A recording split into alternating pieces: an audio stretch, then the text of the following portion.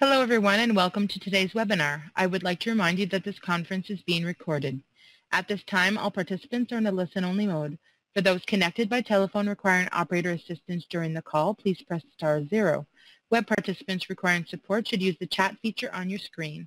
I would like to now turn the meeting over to your moderator, Jennifer Major from Canadian Foundation for Healthcare Improvement. Please go ahead. Hi, good afternoon, everyone, and thanks so much for joining today. So Mary Beth um, is going to be with us as a guest host. Mary Beth, could you just check out the chat um, on the screen and just dial the number um, that Kelly and Sheena have provided just so that you can participate with us verbally today? Thanks a lot. Um, so um, for today's webinar uh, is the second webinar in CFHI's new discussion series, Community Dementia Care and Support. So we're pleased to offer French simultaneous interpretation on today's webinar.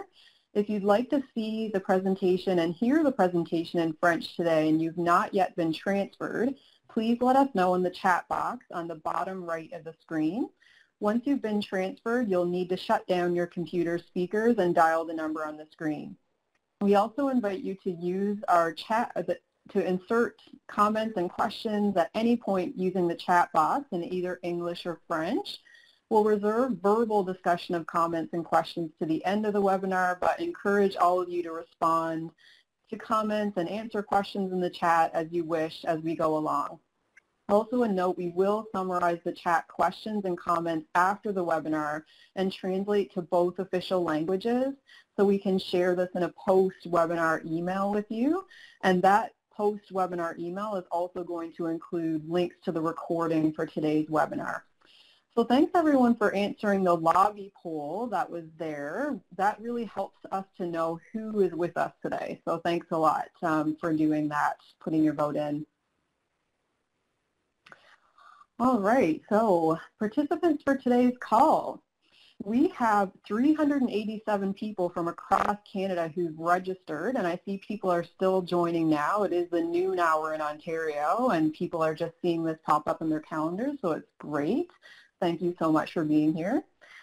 I would like to share a territorial land acknowledgement of where I'm presenting from today in Ottawa, which is where I live. This acknowledgement is meant to recognize the traditional territory of Indigenous people who called the land home before arrival of settlers.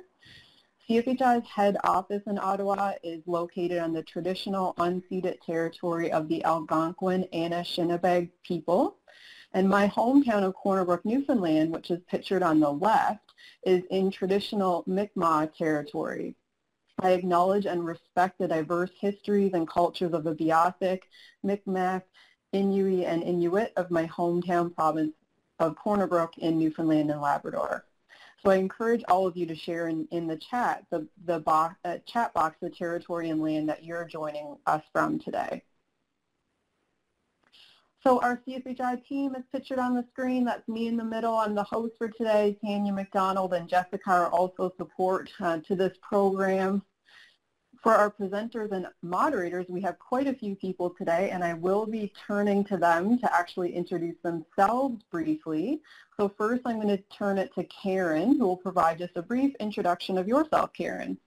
Sure, yeah. Um, I'm Dr. Karen Chen. I'm actually an assistant professor at the University of Alberta, and my background is that I'm a care of the elderly physician, so family medicine plus another year uh, of training in care of the elderly, and I'm very excited to be here.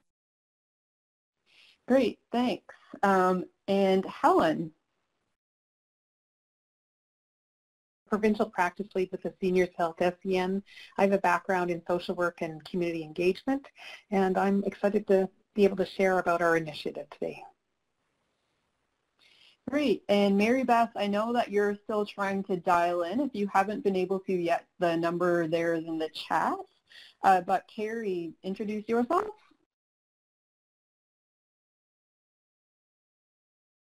Professor in the School of Public Health and Health Systems at the University of Waterloo and Schlegel Research Chair in Dementia at the Research Institute for Aging. So I um, am primarily a researcher looking at health services and engaging people with dementia to improve care and care experiences. So thank you. Great. Thanks, Carrie. And Mimi. Lowi-Young, and I'm the chairman of the board of directors of AgeWell, which is a network centers of excellence bringing together researchers from across the country to look at innovative solutions, technological solutions to aging well and for people with dementia. And I'm also the former CEO of the Alzheimer's Society of Canada, and now I'm a senior fellow and adjunct faculty at the Institute for Health Policy Management and Evaluation at University of Toronto. Excellent. Thank you so much. And Mary Beth, I think we have you, so please introduce yourself. So my name is Mary Beth Wighton. I am uh, 53 years old, living with a diagnosis of probable frontotemporal dementia, and I'm the co-chair of Dementia Advocacy Canada at Roots. Roots growing an organization of both care partners and people living with uh, dementia, in addition to that, I am part of the Federal Ministerial Advisory Team. Um, I'm a member of the uh, Alzheimer's Society of Canada's COVID Task Force and part of the World Health Organization for the uh, uh, looking at uh, material for their uh, Global Dementia Observatory and a few other things. That's good. Great. Thank you so much. Uh, we're really looking forward to hearing from all the presenters today and our guest moderators, Mary Beth and Mimi. So the objectives for today's webinar, we're going to provide a short overview of our Community Dementia Care and Support webinar discussion series. We're going to talk about, we're going to turn it to our presenters, so Karen and Helen, to talk about an innovation based in Alberta that's improving dementia care and support in the community in that province. And we're talking, Carrie's going to share some information about a research initiative that she's helping to lead called COGNISANCE.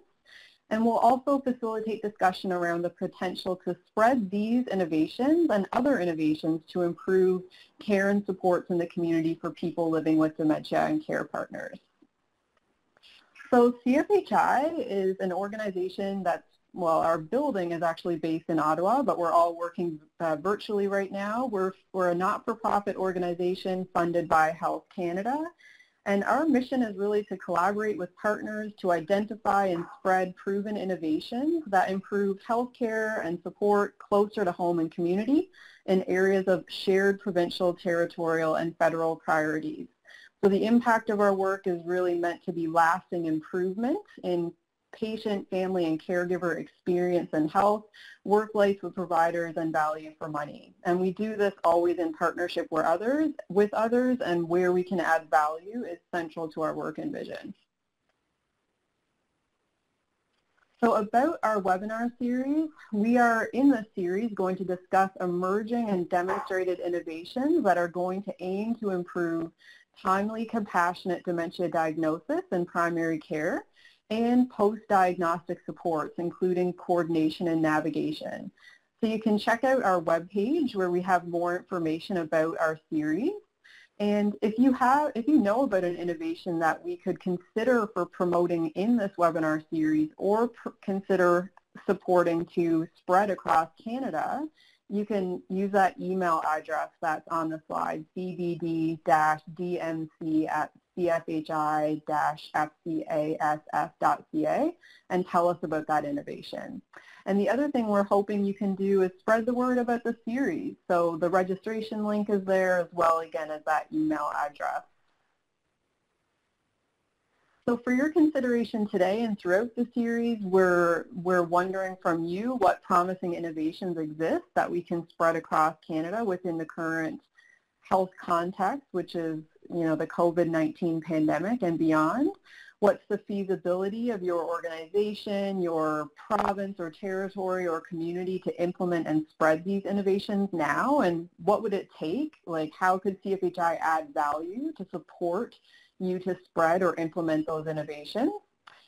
And what are the partnership opportunities? So we know there's a lot of organizations attending, um, people living with dementia, advocates. Um, what, what can we do together to really make sure that we support this? And one of the things we're going to ask you about today is whether you're interested in attending some one-on-one -on -one calls or actually group calls to actually talk further about what we can do and where CFHI can add value in this space. So I am right now going to turn it over to our guest moderators um, to talk a little bit, just, just to provide some personal and uh, reflections about our series. Um, so over to you first, uh, Mimi. Oh, okay. um, well, maybe I'll ask uh, Mary Beth uh, the question about uh, what matters to you regarding improving dementia care and supports in the community. Thanks, Mimi, for that uh, uh, question. Um, I, I, was actually struggling with trying to answer it because I, I, do believe that there's many number of different things that we can do to improve uh, dementia care and sports in the community. And I, I want to kind of just take a second and think about really um, that question in a COVID type of uh, environment that we find ourselves in. And so one of the biggest things to improving dementia care and support um, focuses in at the support at home. And we know our care partners are being um, slammed by the lack of ability to support the care partner and people with dementia. So we need to start to look very quickly at how do we support people at home, both the person with dementia and the care partner. And the struggle too then becomes, when we're looking at support, then it becomes a question of navigation. How do we actually navigate to that care, through that care pathway um, and um, find that coordination of, of care support? And we hear loud and clear from our care partners that um, I mean, we always have, actually. This has been a, an issue for a long time. But now it's even louder. We are lacking the true ability to find the integration of care pathway. So if I'm a local person in my local community, my, my services have been shut down, there isn't any 1-800 number, for instance, to go to and say, how can I get that, that care? Sometimes there's provincial or territorial um, pro, um, support, but not a coordinated national support. So again, in particular through the COVID um, uh, pandemic, that's a very, very big one. And then it's almost like it's a chicken and egg. Um, how do you get to that if we do not improve the training for health care? Because we have to make sure those individuals have the best care of, or best um, best understanding of dementia care partner that they can. So it, it's definitely a chicken and egging it. Um, I think those are some of the most important ones. And uh, I'm going to hand that then over to you, Mimi. Okay. Uh, thank you uh, very much, uh, Mary Beth. And I, I think navigation is, is a huge issue for individuals in terms of how how to get access to services. No, no question about it. And, you know, having 13 healthcare systems in Canada, every province does it differently, and their focus on community care is different, and how people actually access community care is, is, is somewhat different uh, across the country. Uh, and you're right, there isn't one national way of, of, of doing it or nationwide way of, of doing it. Uh, and we need to be much better in terms of integrating and, and supporting people and navigating based on what their particular needs are because individuals have different needs and they need to be able to to access uh, services based on what, what, what they feel they need um, in their journey.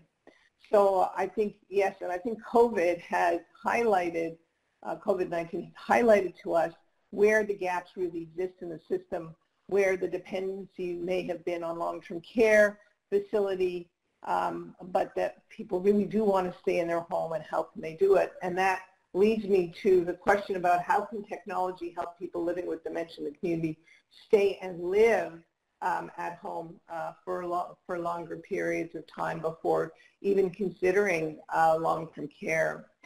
So I think what's happened with COVID is that we have uh, highlighted and uh, have had greater access to the whole idea of virtual care um, where before governments really didn't want to discuss it. And now people are saying, well, this is an option.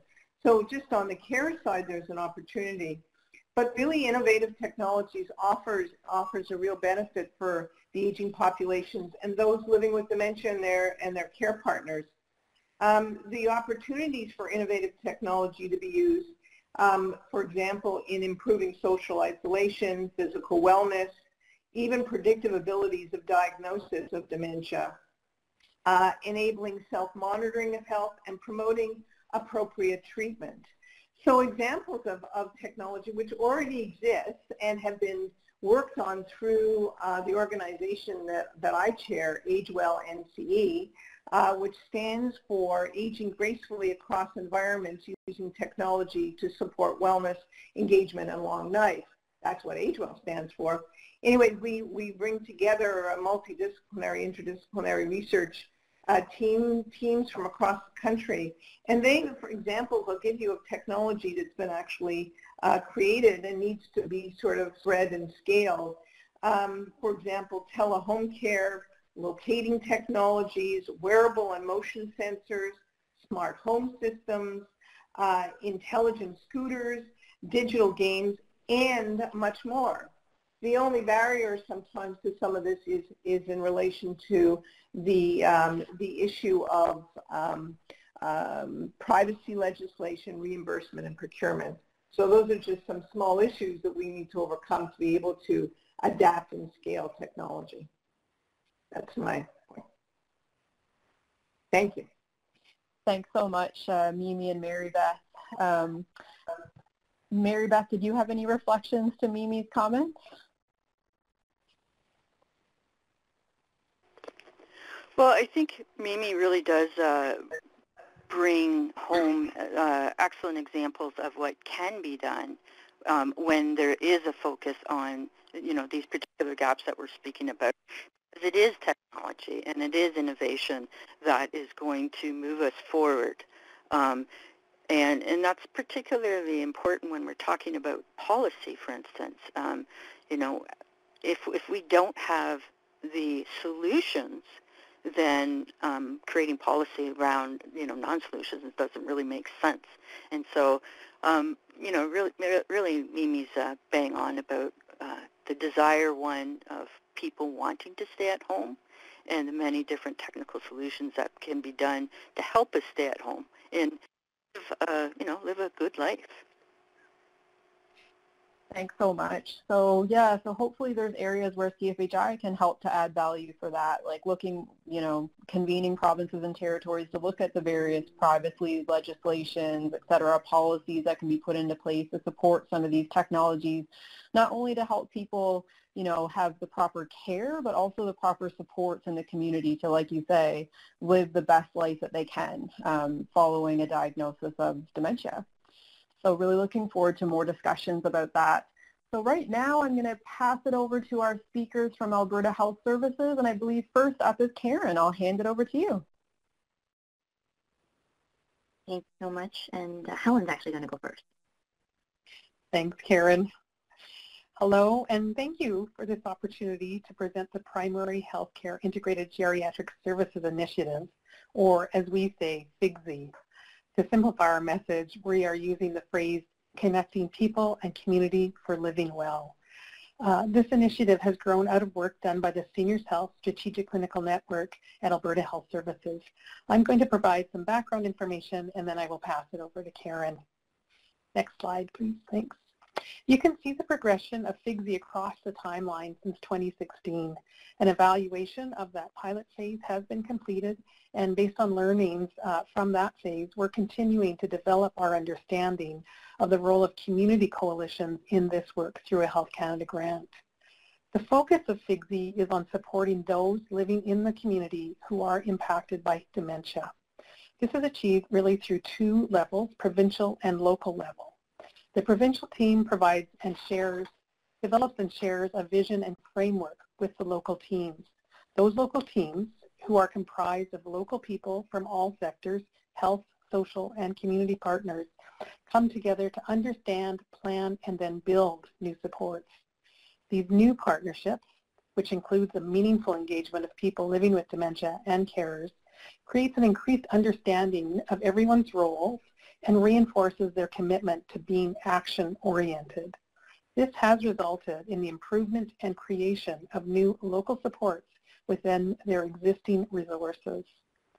So why is working together seen as innovative? It seems really intuitive, but in reality it is really difficult. The systems are complex and usually siloed. The cross-sector, grassroots approach of this work, in particular, necessitates intentional efforts at both provincial and local levels.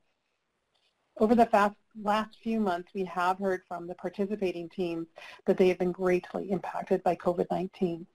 They continue to express enthusiasm about the FIGSI work, and they have been reaching out to their communities through online meetings. Next slide, please. Here is the FIGSI Anticipating the Future Framework, and it reflects the 2019 World Health Organization's description of primary health care as a whole-of-society approach to health and well-being centered on the needs and preferences of individuals, families, and communities. FIGSI focuses on level one, which is the primary healthcare team, and this is at the community level. We know that most people will continue to live in their homes as they age, and this means that we need to develop supports at the community level and that there needs to be a focus on both vertical integration and horizontal integration as seen as those, in those arrows.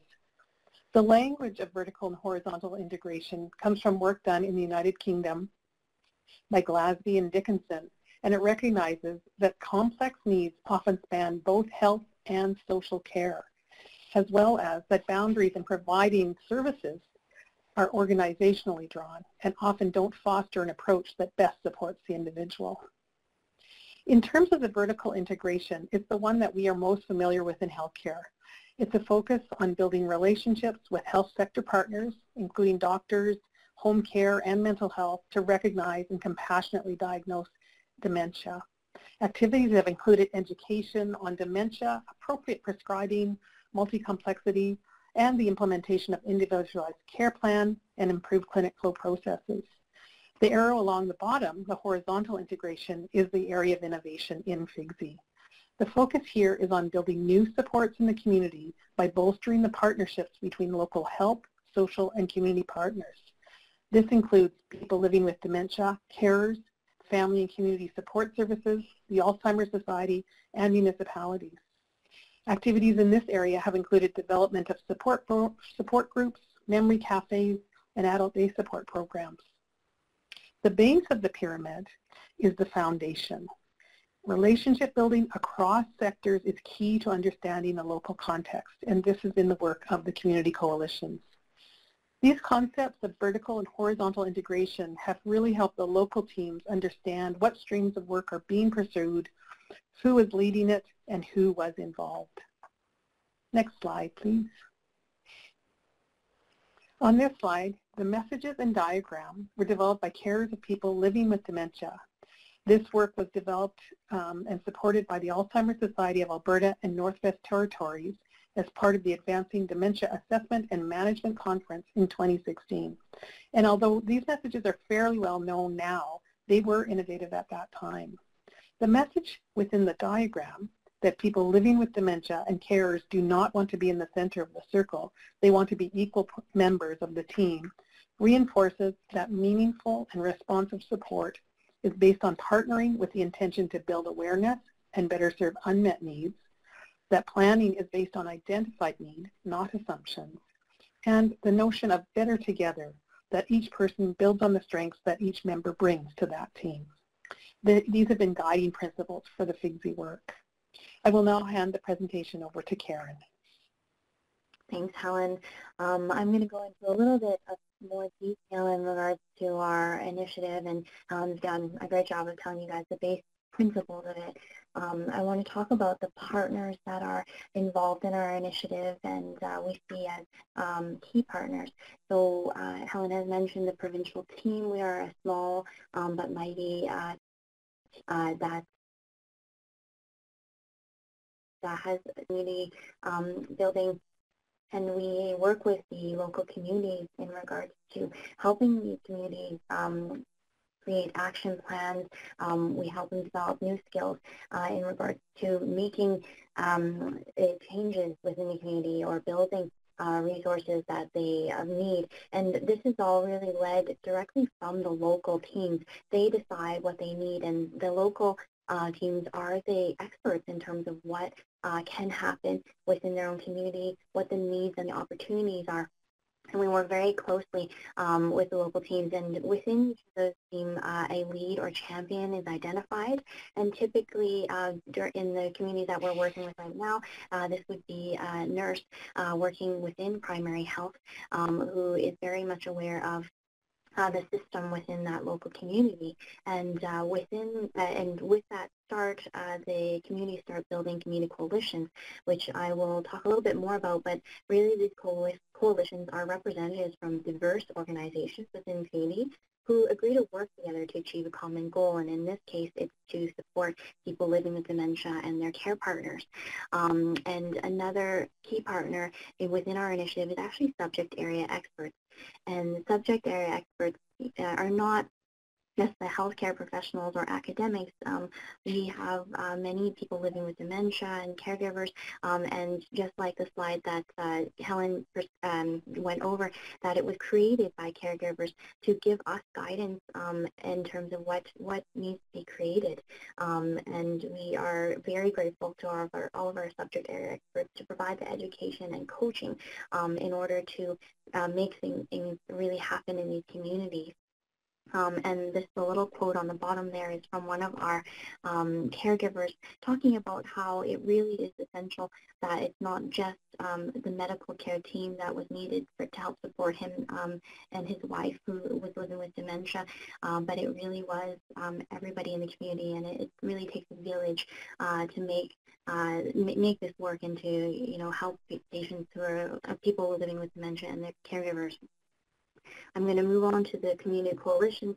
Um, and what I really want to say about this is that it's that diversity um, and inclusivity of uh, all players within the community are so key. And within our uh, communities that we're working with, each community has a very unique makeup of their community coalitions. I think that um, as a baseline, there's always uh, uh, representation from the healthcare sector as well as the social sector, social services sector but some of them have um, been able to engage uh, so that members of the municipal government are involved. Uh, certainly the members of the public, people living with dementia, and their caregivers um, are involved in these community coalitions. Um, and one of our communities who I see is on the line here today, um, you know, they've coined the phrase that the weirder the mix, the better the fix. Um, and what the communities are finding is that they actually are, are work, by working together and creating these relationships, they're able to not just work on uh, this their their goal of uh, helping people living in the community with dementia and their carers, but it's actually helping them solve other problems as well.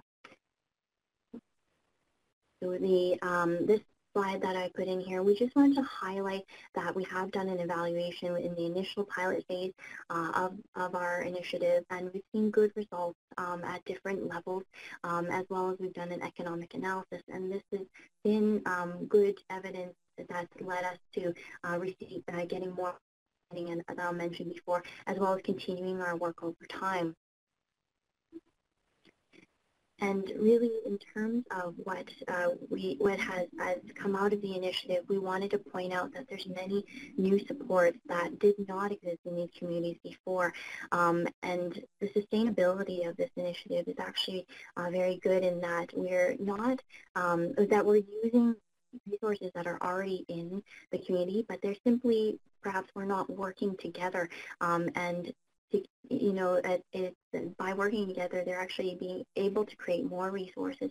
Um, and here are just some of the examples uh, that we've listed under new supports. And I think that it's very key that those collaborations, for example, the Community Adult Day program that was built in one of our communities, it was highly reliant on uh, having that uh, and worked, work together with the municipality who helped provide the transportation, working with the healthcare sector that provided some of uh, the, uh, the staff for the daycare program, um, and then with uh, also the community partners who provided actually the location uh, where the, the day program could take place. And that's just one of the examples uh, that uh, we've gone through. And you know, there's so many more, and, and I think that uh, we, we'd love to talk about more of it as time goes on with you guys. Um, with our initiative, we really have uh, been working on this for the past five or six years, and we're at the stage where we're continuing to develop the community coalitions, but also looking at spread and scale across Alberta. Um, I wanted we wanted to put this link to a video to introduce you further to FIGSI. We'd love to have played the video for you, but it's uh, four minutes and would have taken a good chunk of our time.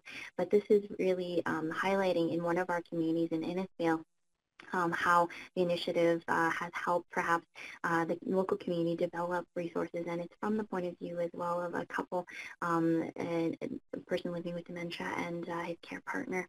Um, so we hope that you guys will look into that uh, after our seminar today.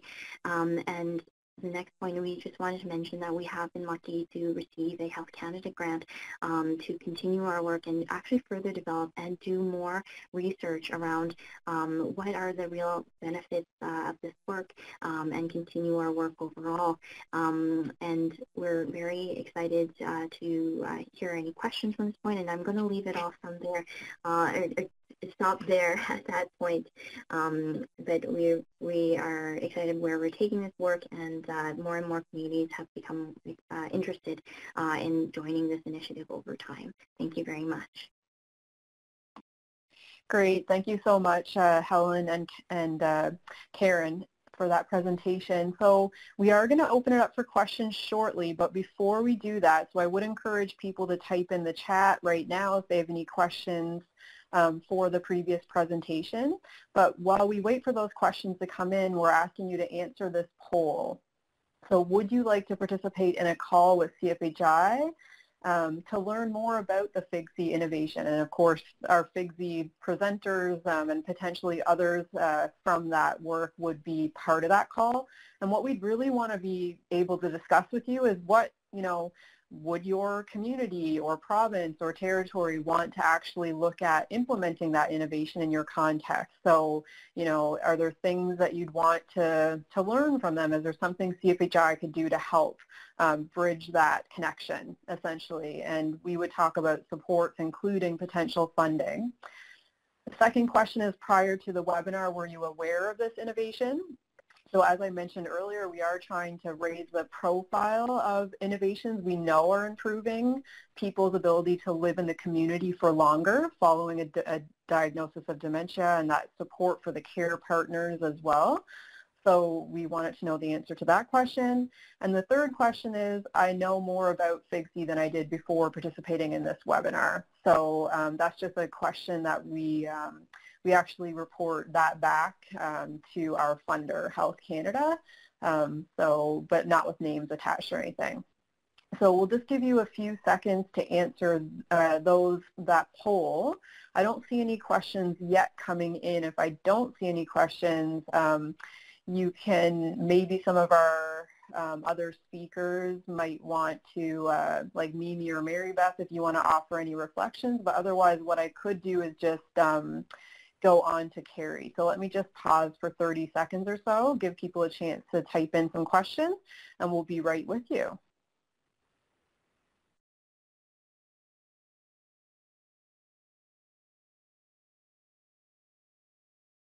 Uh, the question, what, what barriers um, did you find uh, in, in implementing um, this uh, project um, that you found in, in implementing? What, what were some of the barriers and how did you overcome them?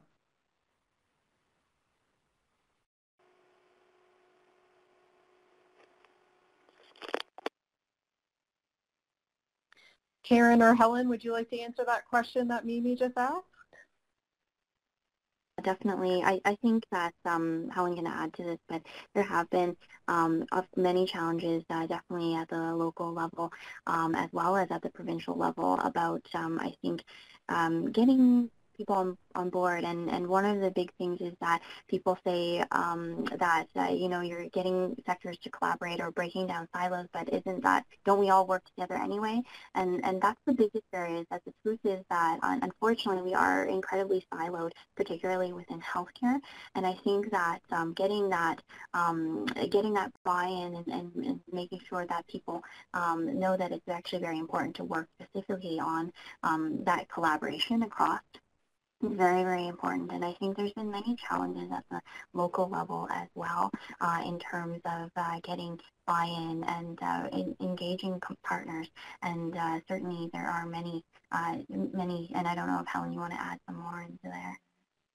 Yeah, I, and I guess I would just, on the positive side, in terms of the local level, what, what we found is that actually a lot of these partners had not met each other, and it was through the provincial learning workshops that they um, came together and and realized that they were both, um, you know, both uh, sets of services were actually engaging with a lot of the same people, and so they could see the advantages right away with that. Um, but I, I, you know, I think it's time also. It's often on the sides of the of those workers' desks that they're doing this work. So I think having designated um, uh, resources for it has been has been a challenge for them also. Yeah, I think one of the biggest issues is just lack of knowledge of what's actually available, and that's that holds people back because they say, well, I didn't know, know you existed kind of thing. So this, this is great. Thank you for a great presentation. Thank you. Thank you so much. And I just put a comment in the chat too that, you know, one of the things and the hopefully the value adds that CFHI can do is actually compile information about barriers and enablers and the policies that work to support, et cetera, and then share it with interested communities, um, provinces and territories. So I see a few other questions have come in, um, one from Cindy. I'm going to actually hand it over to Carrie to have her pre presentation. Then we're going to come back to your question, Cindy, after, um, after Carrie's presentation. So I'll turn it over to Carrie and we'll get back to Q&A shortly. Great. Thanks, Jennifer. And uh, thanks to Helen and Karen for a great presentation. Um, so uh, welcome everyone and uh, thank you so much for taking the time to participate in the webinar today. I'm going to talk a little bit about a study that we're doing um, that's called Co-Designing Dementia Diagnosis and Post-Diagnostic Care. And of course the acronym is COGNISANCE. So this is an international study and the purpose is really to try and en enhance or improve the experience when people receive a dementia diagnosis and then the supports that are given after that diagnosis is made. And to do this, we're going to be working directly with people living with dementia, with family care partners, and with health and social care providers. So it's very much a, a, practical, uh, you know, on-the-ground type of study where we're really trying to make a difference for people living with dementia and their families. I'm, I'm fortunate to be able to work um, with a wonderful group of colleagues in Canada from Quebec and from New Brunswick, and we're hoping that after the study is done that we'll be able to spread this innovation. Next slide, please. Um, so when it comes to diagnosing dementia, we know that the experience is not always what we would like it to be. Um, and in fact, there are many, in many countries, some individuals don't even receive a diagnosis. And there's been some work, um, actually, could you go to the previous slide, please?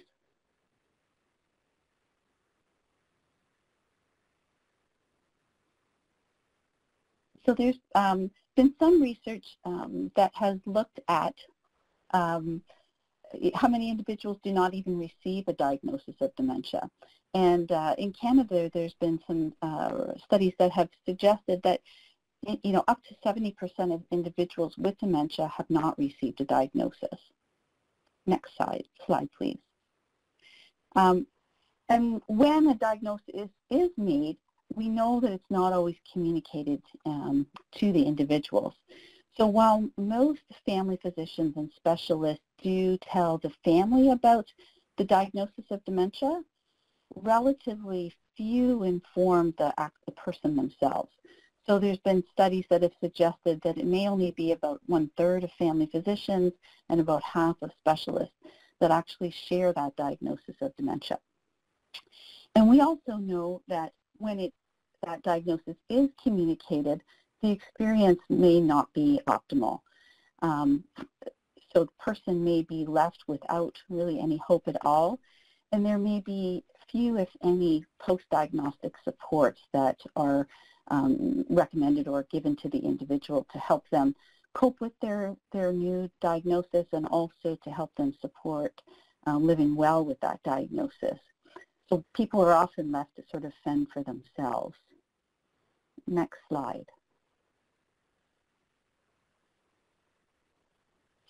So Kate Swaffer is a person living with dementia from Australia, and she coined the term prescribed disengagement. And this describes her experience when she was diagnosed with dementia. So essentially, she was told to sort of go home, stop doing what she loved doing, and to just wait for the disease to progress. Um, but fortunately for all of us, um, that's not what she had done, and she's become a wonderful advocate in the dementia world. Next slide.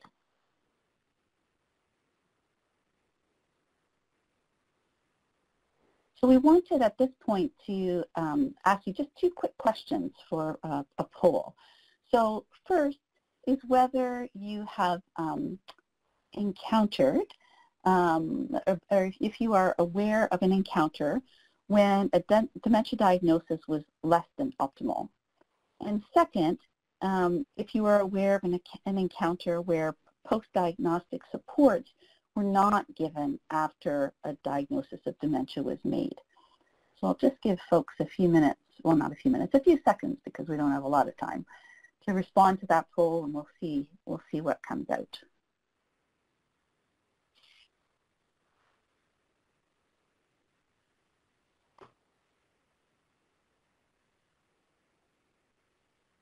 I think people are still responding, but um, I think we have, unfortunately, two clear winners. Um, so yes, people are aware of situations where the diagnostic experience was less than optimal and post-diagnostic supports were not given. So we'll go, maybe we'll close that and go to the next slide.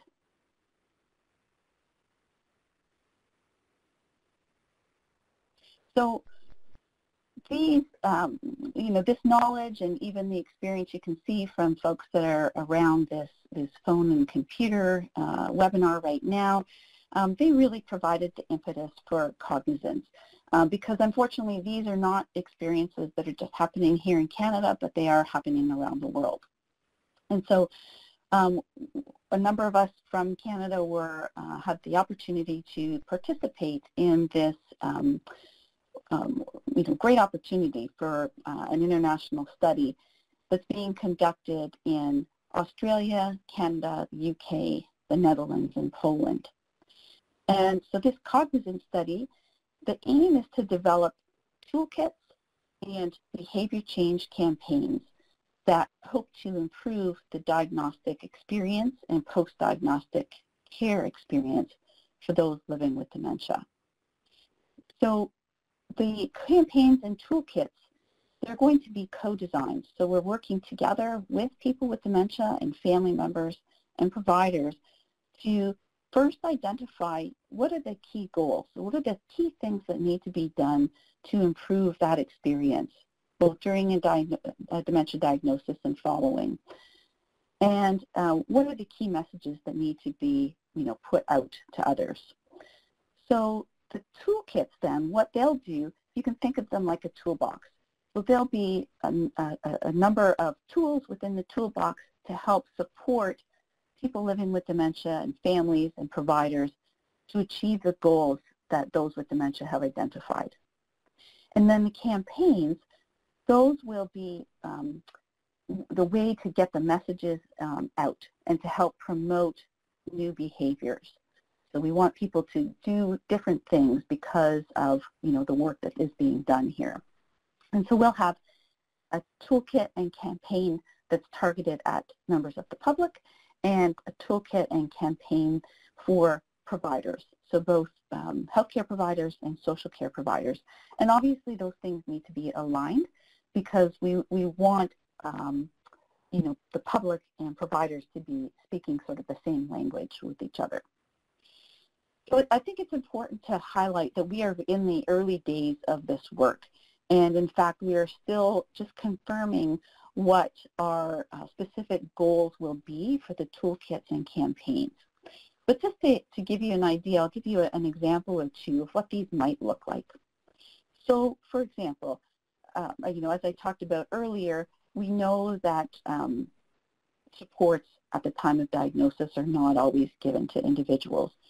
So if, if we hear from people with dementia and their families that, you know, there need to be resources, there need to be things that are done to really support people to connect with, you know, some of these key resources after they get a diagnosis of dementia.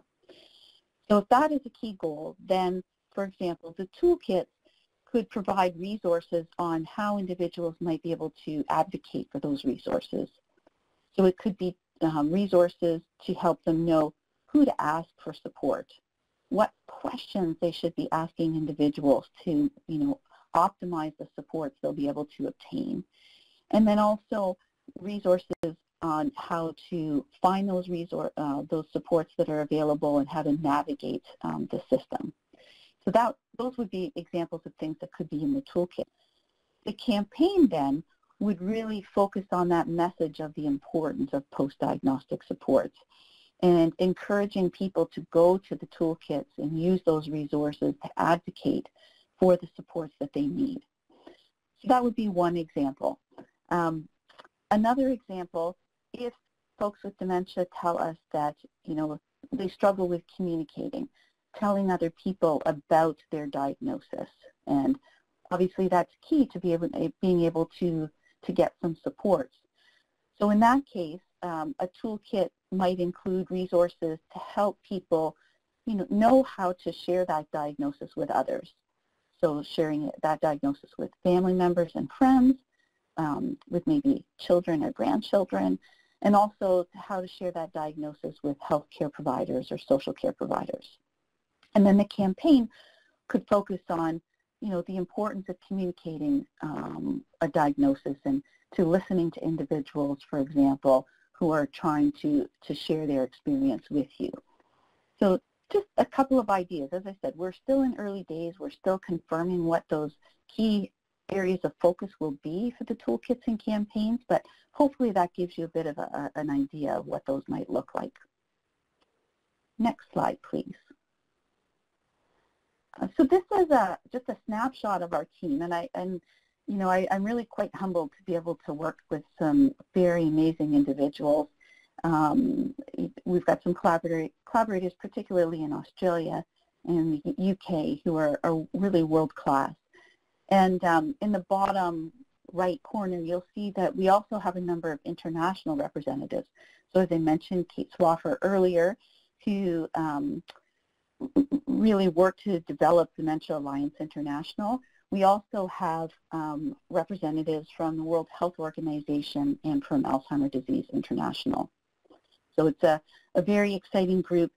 And we are hoping not only to be able to share our learnings and the uh, toolkits and, and, campaigns that get developed um, within, for example, within Canada, within the other provinces, but also with other countries um, and with a particular focus on low and middle income countries because they, uh, you know, just do not often have the resources to be able to do this work. So what can we do to kind of help them along the way? Next slide, please. This just gives you a, sort of a snapshot of where we are, we're at. Um, we've been conducting surveys and focus groups just to get a sense of where um, what the experience is like in each of the countries related to that uh, dementia diagnosis um, experience. And we're currently working on the development of the toolkits and campaigns. Uh, after that, we will be um, delivering those campaigns and disseminating the toolkits and conducting an evaluation. And then, as I mentioned, working on some resources to help um, share the, this uh, this innovation across to other regions of Canada and to other countries. Next slide. So, and here is just some information about how to get involved. So if you're interested in, you know, participating in a survey or an interview, um, particularly individuals living in Ontario, Quebec, and New Brunswick, or if you're interested in receiving updates about the project, uh, I've given the uh, contact information of Melissa Cook, who is our research coordinator, and uh, she can, um, you can reach out to her and let her know what you might be interested in, and we would be happy to share information with you. So thank you very much, and look forward to any questions you might have. Thank you so much, Carrie. And I do see there's some questions coming in. Um, before we get to the questions with Carrie um, and also with our other presenters, if everyone can take a few moments and answer our poll. So would you like to participate in a call with CFHI to learn more about COGNISANCE? Um, please answer that question. Prior to this webinar, were you aware of COGNISANCE? yes or no. And I know more about Cognizant than I did before participating in this webinar. So that third question we report back to our funder with no names attached. But um, if you do answer yes that you'd like to participate in a call, we will be sending out more information about how you can do that in the next um, two or three weeks with people on vacation, et cetera. So thank you so much for answering those questions. So we do have only about 10 minutes left. And what we're going to do is, I know there were some questions that came in. Um, there's been some discussion in the chat around, you know, what CFHI could do to support um, physician education, so creation of CME credited um, education that could be um, provided to or with physicians around early diagnosis and post-diagnostic support. There was also a question that maybe I'll take it back. Um, so Cindy, and then we'll turn it over to like kind of a general question while people um, put some questions in for the presenters. So Cindy actually asked, and I'm just looking for the question. Um, so um, is there an, oh, that, there's a, there was the one question about the opportunity for involvement of patient partners in the Cognizant work, so I think that's been answered. Um, but she also asked, I think earlier, about um, does anyone have a solution to be able to reopen adult day programs? So this is a vital community support for care partners that has been shut down since COVID. And one of the responses that I put in was, I don't know if anyone knows kind of different provinces and territories and what they have been able to do to reopen programs like that or what their plans are and wondered if CFHI could provide value in actually bringing some of that information together to share on a platform such as this. So maybe, um, I don't know if Mimi or Mary Beth, you have a comment around, you know, what we can do to actually open up those community support services so that people get the care and support that they need.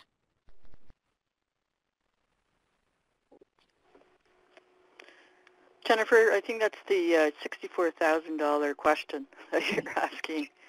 Um, and there, there's you know, I think uh, a lot of us are think, trying to think about what is the best way.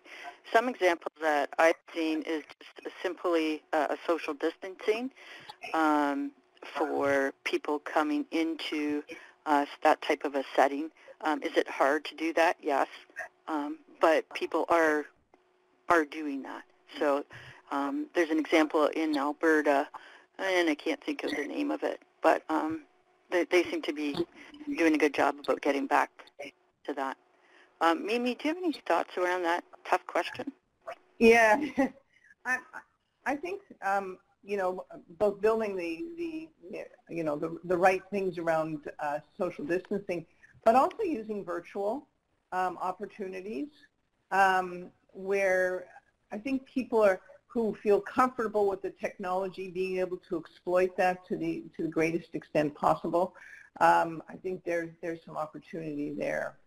Um, but I think over time, just as we're thinking about opening up schools, opening up care centers and, and support groups and so on that are so important for keeping people well in the community with, with the diagnosis of dementia, I think will need to be played out. And um, it'll be important for the regional health authorities and, and so on to really push that uh, with regards to getting those facilities opened as soon as possible, but safely and, uh, you know, safely is, is the most important, I think we need to keep in mind.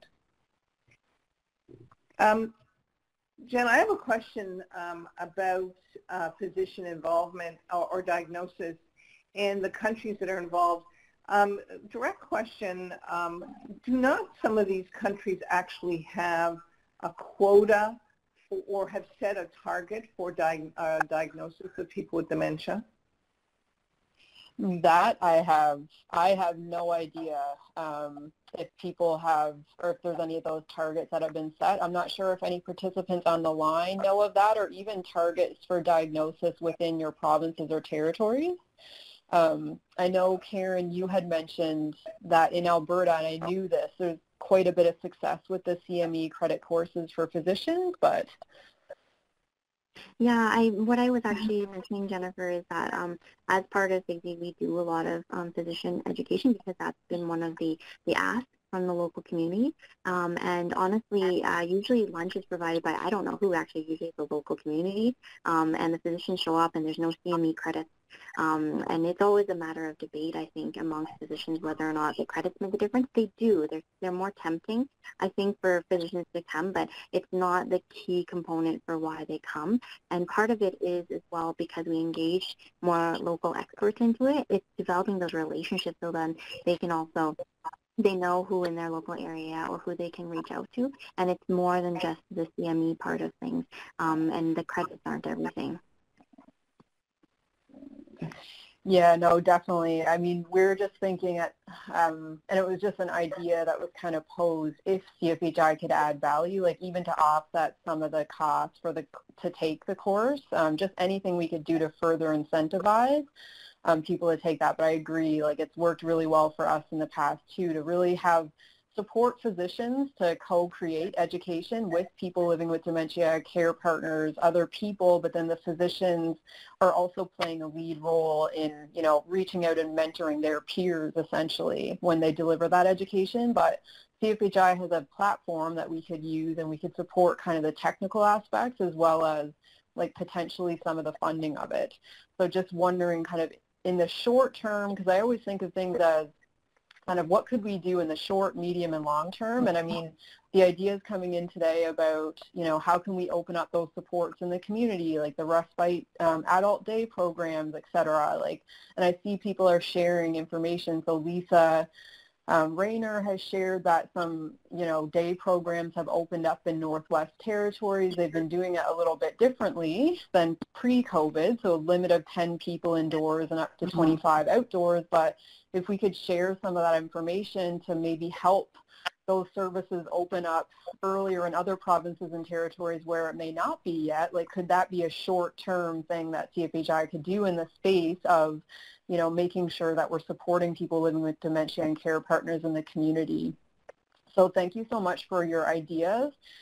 We only have a few minutes left, so keep your comments coming. And then I'm just going to like clue up the presentation here just so we get our survey in. And then I'll, I'll turn it over for final reflections from Mimi and Mary Beth if we have a chance for that. So I just wanted to just give, this slide will be available after, so I don't need to go into a lot of detail, but we do have a program that you may be interested in learning more about, which is called our Priority Health Innovation Challenge.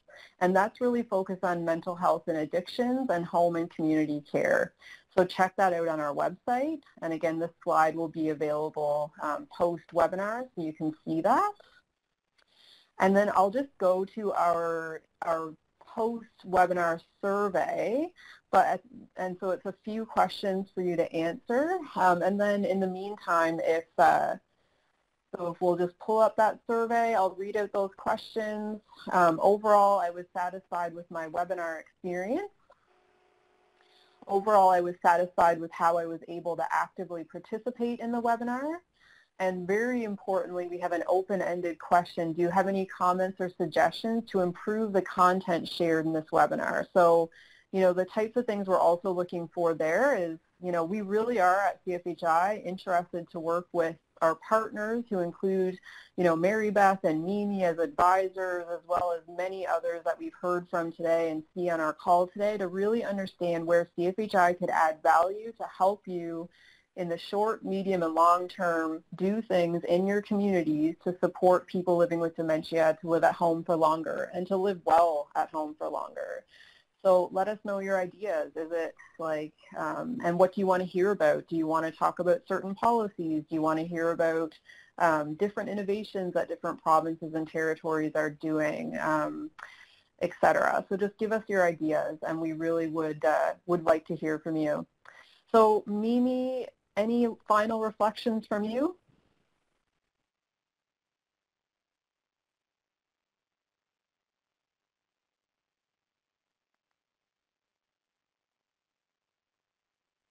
Or Mary Beth, any final reflections? Sure. Um, first of all, I just want to say thank you for attending today's uh, webinar. It was uh, very interesting, and I think it provides us with a, a, base of great understanding on some of these projects going forward. And the big thing that uh, sticks out for me is, of course, the word community. This, you know, these two solutions definitely look for the word community. Um, that's what they're basing their supports on. And, and, and then I think that just rolls up into um, uh, CIHI's uh, um, report on dementia in home and community care. And uh, they stated there that about 61% of seniors with dementia in Canada live at home and they require support while staying there. And that's not including an early onset number. So I think uh, it, these two projects, uh, it will be interesting to see how they, they move forward. And um, uh, thank you to the presenters. Jan, I was on mute. Sorry about that. Can I make a quick comment? Yes, please. uh, just to say, excellent presentations. Encourage um, uh, if the, the international project can, can look at their timelines because what they're doing is so important that we need it, you know, sort of yesterday. And um, the community program, I, I think what, what's being done is, is excellent, and I think we need to look at every opportunity for modeling some of the ideas that have come out of that to spread and scale this, uh, the FIRST project. That's it. Great, thank you so much. Well, it was a great discussion. We'll look very carefully at the chat and really look forward to connecting on an open call where more people will be able to share comments, um, et cetera, outside of the chat even. Um, have a great afternoon, and we really look forward to talking to you on this series, the next webinar, which is in August, or sorry, September. Talk to you all later. Thank you so much for being here. Ladies and gentlemen, this concludes today's conference call. Thank you for participating. You may now disconnect.